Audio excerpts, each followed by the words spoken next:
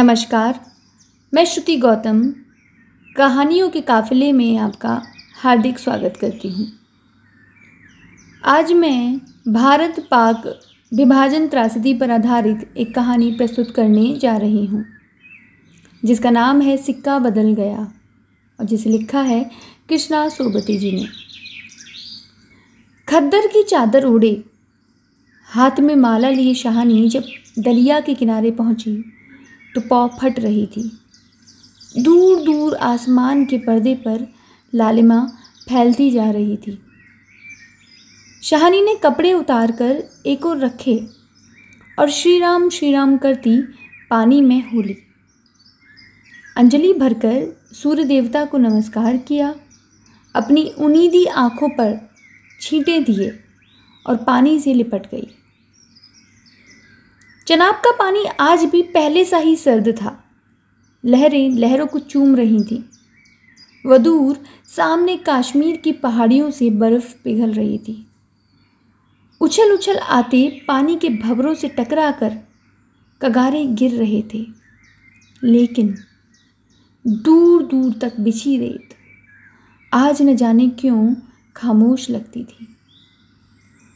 शाहनी ने कपड़े पहने इधर उधर देखा, कहीं किसी की परछाई तक न थी, पर नीचे रेत में अगणित पाँव के निशान थे।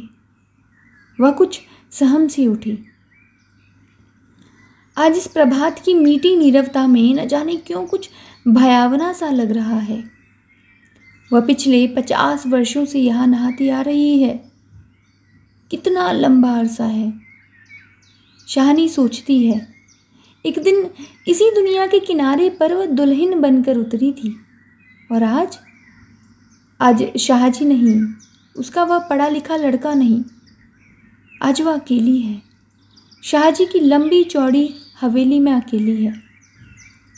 पर नहीं, यह क्या सोच रही है वह सवेरे सवेरे अभी भी दुनियादारी से मन नहीं फिरा उसका। शाहरी ने लंबी सांस ली और श्री राम श्री राम करती बाजरे के खेतों से होती घर की राह ली कहीं कहीं लिपे पुते आंगनों पर से धुआँ उठ रहा था। टन टन बैलों की घंटियाँ बज उठती हैं। फिर भी फिर भी कुछ बधा बधा सा लग रहा है। जम्मी वाला कुआँ भी आज नहीं चल रहा। ये शाहजी की असामियाँ हैं। शाहनी ने नज़र उठाई। यह मीलों फैले खेत अपने ही हैं। भरी भराई नई फ़सल को देखकर शाहनी किसी अपनत्व के मोह में भीग गई। यह सब शाहजी की बरकतें हैं। दूर दूर गाँव तक फैली हुई ज़मीनें, ज़मीनों में कुएँ सब अपने हैं। साल में तीन फ़सल, ज़मीन तो सोना उगलती है। शाहनी कुएँ की ओर बढ़ी आवाज़ दी। शेरे शेरे, हसैना हसैना। शेरा शाहनी का स्वर पहचानता है, वह ना पहचानेगा।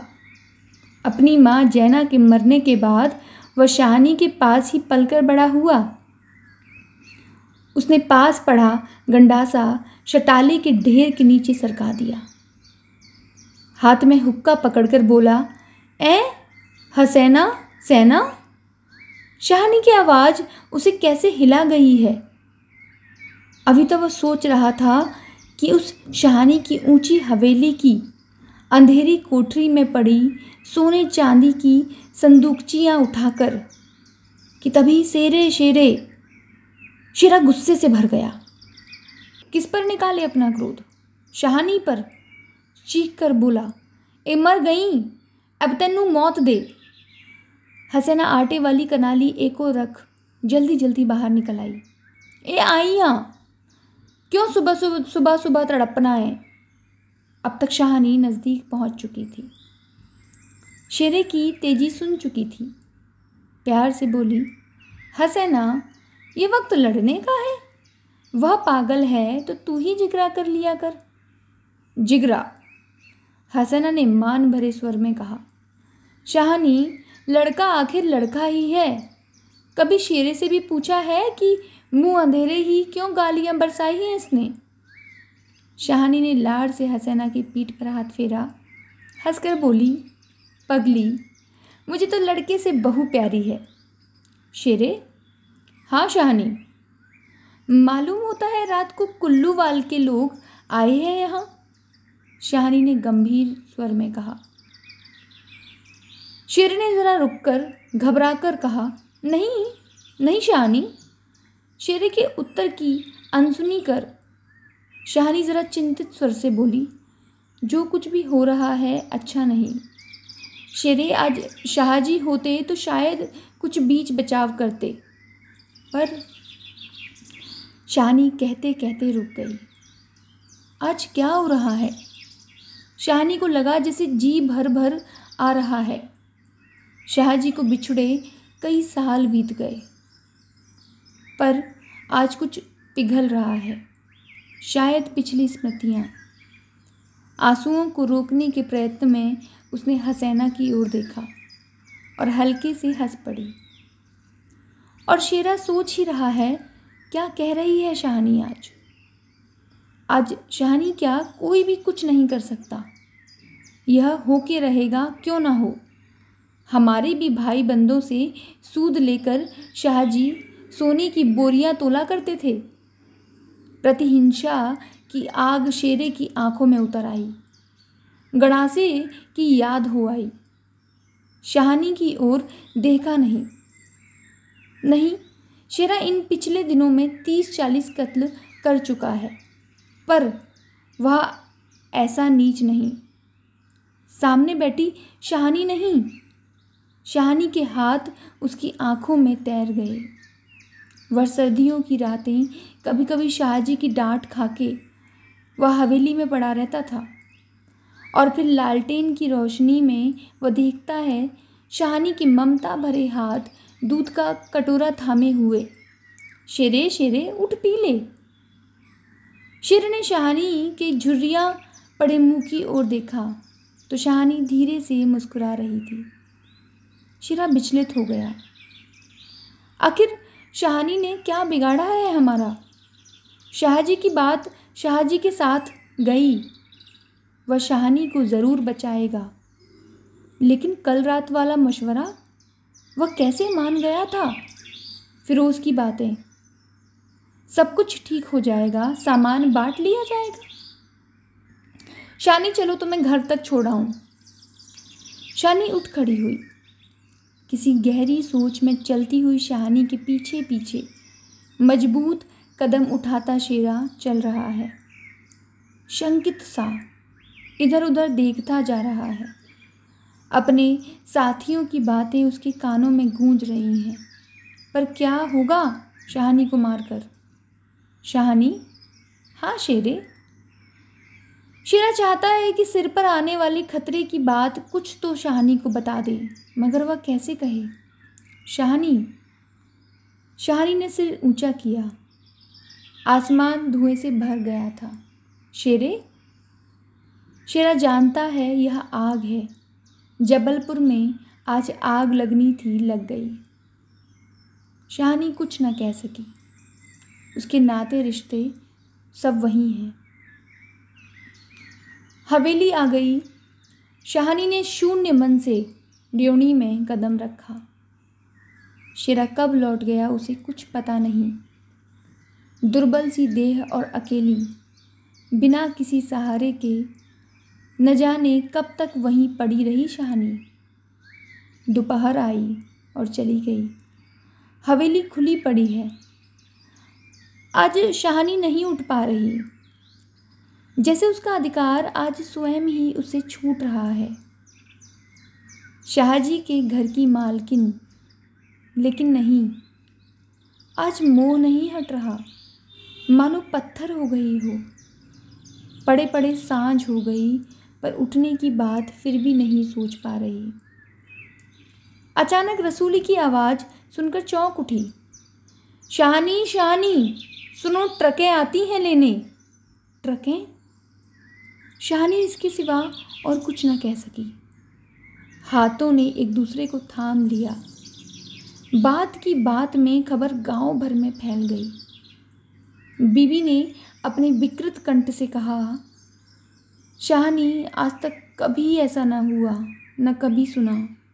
गजब हो गया, अंधेरा पड़ गया। शाहनी मूर्तिवत वहीं खड़ी रही।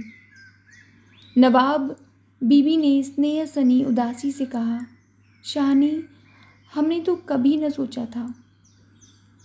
शाहनी क्या कहे कि उसी ने ऐसा सोचा था? नीचे से पटवारी, बेगू और जेलदार की बातचीत सुनाई दी। शाहनी समझी कि वक्त आन पहुँचा। मशीन की तरह नीचे उतरी, पर ड्योणी न लाग सकी। किसी गहरी, बहुत गहरी आवाज़ से पूछा कौन? कौन है वहाँ? कौन नहीं है आज वहाँ? सारा गाँव है, जो उसके इशारे पर नाचता था कभी। उसकी असामियाँ हैं, जिन्हें उसने अपने नाते रिश्तों से कभी कम नहीं समझा। लेकिन नहीं, आज उसका कोई नहीं। आज वह अकेली है। या भीड़ की भीड़, उनमें कुल्लू वाल के जाट वह क्या सुबह ही नहीं समझ गई थी? बेगू पटवारी और मसीद के मुल्ला इस्माइल ने जाने क्या सोचा? शाहनी के निकट आ खड़े हुए। बेगू आज शाहनी की ओर देख नहीं पा रहा। धीरे से ज़रा गला साफ़ करते हुए कहा शाहनी रबनू यही मंजूर सी? शाहनी के कदम डोल गए। चक्कर आया और दीवार के साथ लग गई। इसी दिन के लिए छोड़ गए थे शाहजी उसे। बेजान सी शाहनी की ओर देख कर बेगू सोच रहा है, क्या गुजर रही है शाहनी पर? मगर क्या हो सकता है? सिक्का बदल गया है। शाहनी का घर से निकलना छोटी सी बात नहीं। गाँव का गाँव खड़ा है हवेली के दरवाजे से लेकर उस दारे तक, जिसे शाहजी ने अपने पुत्र की शादी में बनवा दिया था। तब से लेकर आज तक सब फैसले, सब मशवरे यहीं होते रहे हैं। इस बड़ी हवेली को लूट लेने की बात भी यहीं सोची गई थी। यह नहीं कि शाहनी कुछ न जानती हो, वह जान कर भी अनजान बनी रही। उसने कभी बैर नहीं जाना, किसी का बुरा नहीं किया, लेकिन बूढ़ी शानी यह नहीं जानती कि सिक्का बदल गया है। देर हो रही थी। थानेदार दाऊद खां ज़रा अकड़ कर आगे आया और ड्योणी पर खड़ी जड़ निर्जीव छाया को देख कर ठटक गया। वह शाहनी है, जिसके शाहजी उसके लिए दरिया के किनारे खेमे लगवा दिया करते थे। यह तो वही शाहनी है जिसने उसकी मंगेतर को सोने के कनफूल दिए थे, मुँह दिखाई में। अभी उसी दिन जब वह लीक के सिलसिले में आया था तो उसने उद्दंडता से कहा था शाहनी भागोवाल मसीद बनेगी, तीन सौ रुपया देना पड़ेगा। शाहनी ने अपने उसी सरल स्वभाव से तीन सौ रुपये दिए थे। और आज शाहनी ड्योड़ी से निकट जाकर बोला, देर हो रही है शाहनी कुछ साथ रखना हो तो रख लो। कुछ साथ बाँध लिया है, सोना चांदी। शाहनी अस्फुट स्वर से बोली, सोना चांदी? ज़रा ठहर कर सादगी से कहा, सोना चांदी, बच्चा, वह सब तुम लोगों के लिए है। मेरा सोना तो एक एक ज़मीन में बिछा है। दाऊद खान लज्जित सा हो गया। शाहनी तुम अकेली हो। अपने पास कुछ होना ज़रूरी है। कुछ नगदी ही रख लो। वक्त का कुछ पता नहीं। वक्त। शाहनी अपनी गीली आँखों से हंस पड़ी। दाऊद खां, इससे अच्छा वक्त देखने के लिए क्या मैं ज़िंदा रहूँगी? किसी गहरी वेदना और तिरस्कार से कह दिया शाहनी ने। दाऊद खां निरुत्तर है। साहस कर बोला शाहनी कुछ नगदी ज़रूरी है। नहीं बच्चा, मुझे इस घर से शाहनी का गला रुंध गया। नगदी प्यारी नहीं, यहाँ की नगदी यहीं रहेगी। शेरा आन खड़ा गुजरा कि हो ना हो, कुछ मार रहा है शाहनी से। खां साहिब, देर हो रही है। शाहनी चौंक पड़ी। देर, मेरे घर में मुझे देर। आंसुओं की भंवर में न जाने कहाँ से विद्रोह उमड़ पड़ा। मैं पुरखों के इस बड़े घर की रानी और यह मेरे ही अन्न पर पले हुए। नहीं, यह सब कुछ नहीं। ठीक है, देर हो रही है, पर नहीं। शहानी रो रो कर नहीं, शान से निकलेगी इस पुरखों के घर से। मान से लांगेगी यह दहरी, जिस पर एक दिन वह रानी बनकर आ खड़ी हुई थी। अपने लड़खड़ाते कदमों को संभाल कर शाहानी ने दुपट्टे से आँखें पोंछी और ड्योणी से बाहर हो गई। बड़ी बुढ़िया रो पड़ी। किसी की तुलना हो सकती थी इसके साथ। खुदा ने सब कुछ दिया था, मगर मगर दिन बदले, वक्त बदले। शाहनी ने दुपट्टे से सिर ढाप कर अपनी धुंधली आँखों में से हवेली को अंतिम बार देखा। शाहजी के मरने के बाद भी जिस कुल की अमानत को उसने सहेज कर रखा, आज वह उसे धोखा दे गई। शाहानी ने दोनों हाथ जोड़ लिए। यही अंतिम दर्शन था, यही अंतिम प्रणाम था। शाहानी की आँखें फिर कभी इस ऊँची हवेली को ना देख पाएँगी। प्यार ने ज़ोर मारा सोचा। एक बार घूम फिर कर पूरा घर क्यों ना देखा ही मैं? जी छोटा हो रहा है। पर जिनके सामने हमेशा बड़ी बनी रही है, उनके सामने वह छोटी न होगी। इतना ही ठीक है, बस हो चुका। सिर झुकाया। ड्योणी के आगे कुलबधु की आँखों से निकलकर कुछ बूंदें चू पड़ी। शाहनी चल दी। ऊँचा सा भवन पीछे खड़ा रह गया।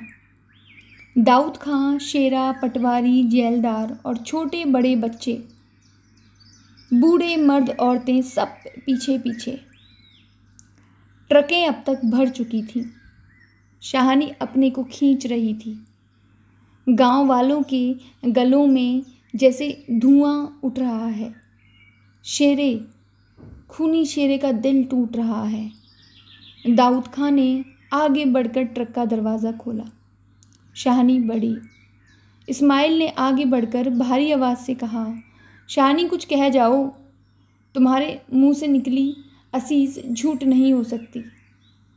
और अपने साफे से आँखों का पानी पूछ लिया। शाहनी ने उठती हुई हिचकी को रोक कर रुंधे रुंधे से कहा, रब तुहानु सलामत रखे बच्चा, खुशियाँ बख्शे। वह छोटा सा जन समूह रो दिया। जरा भी दिल में मैल नहीं शहानी के, और हम शहानी को नहीं रख सके? शेर ने बढ़कर शहानी के पाँव छुए। शाहनी कोई कुछ कर नहीं सका। राज भी पलट गया। शाहनी ने कांपता हुआ हाथ शेरे के सिर पर रखा और रुक रुक कर कहा, तेनू भाग जगड़ चन्ना। दाऊद खां ने हाथ का संकेत किया। कुछ बड़ी बूढ़ियाँ शहानी के गले लगी और ट्रक चल पड़ी। अन्य जल उठ गया। वह हवेली, नई बैठक, ऊँचा चौबारा, बड़ा पसार, एक एक करके घूम रहे हैं शाहानी की आँखों में। कुछ पता नहीं ट्रक चल दिया है यह वह स्वयं स्वयं चल रही है। आँखें बरस रही हैं। दाऊद खां विचलित होकर देख रहा है बूढ़ी शाहानी को। कहाँ जाएगी अब वह? शाहानी मन में मैल न लाना। कुछ कर सकते तो उठा न रखते। वक्त ही ऐसा है। राज पलट गया है, सिक्का बदल गया है। रात को शाहानी जब कैंप में पहुंचकर ज़मीन पर पड़ी तो लेटे लेटे आहत मन से सोचा, राज पलट गया है, सिक्का क्या बदलेगा? वह तो मैं वहीं छोड़ आई। और शाहजी की शाहनी की आँखें और भी गीली हो गईं। आसपास के हरे हरे खेतों से घिरे गाँव में रात खून बरसा रही थी। शायद राज पलटा भी खा रहा था और सिक्का बदल रहा था। शुक्रिया। तो यह थी कहानी, सिक्का बदल गया। ऐसी ही और रोचक कहानियों को सुनने के लिए आप कहानियों के काफ़िले से जुड़े रहिए और लोक बात चैनल को सब्सक्राइब करना न भूलिए।